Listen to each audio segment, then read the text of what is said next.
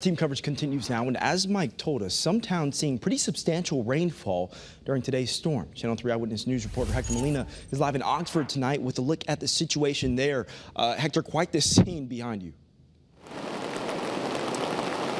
Yeah, Brian, I mean, uh, we're here in the area of Riggs Road, Riggs Street in Oxford, and this Riggs Street looks more like a fast-moving river. Let's give you a closer look here, what's going on behind me.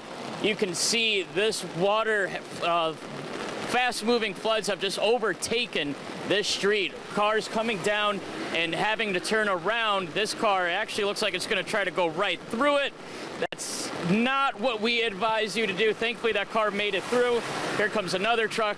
You see these cars actually able to make it through here, but not everyone uh, has been able to say the same. We've seen a lot of cars having to turn around and go other and uh, look for alternate routes. And if you have to go out today, that's probably going to be the case for you as well, especially if you're uh, living in this area of the state.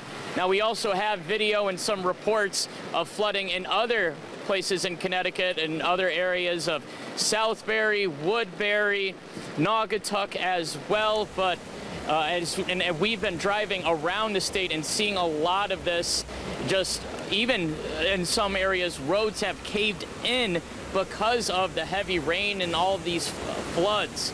And we're going to continue to monitor the damage and update you throughout the night. And I will say if you do need to leave the house I wouldn't recommend doing so. But if you have to please proceed with caution especially if you live in these areas of the state. And again you see these these waters are moving a lot quicker than traffic as of right now. That's the latest here in Oxford. Hector Molina, Channel 3, Eyewitness News.